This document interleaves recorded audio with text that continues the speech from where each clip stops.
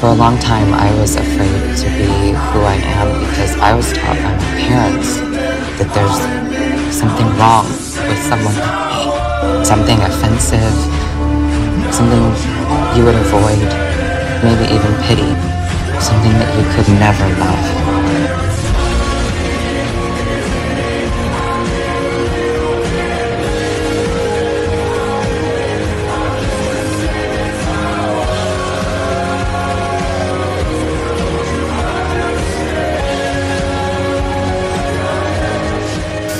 we march with pride.